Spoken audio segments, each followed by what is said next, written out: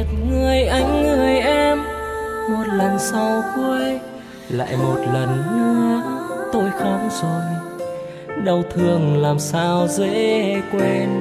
Làm sao đây?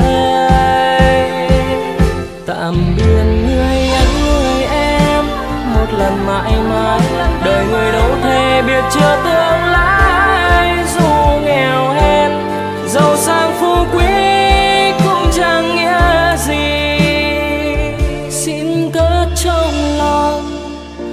bao yêu thương.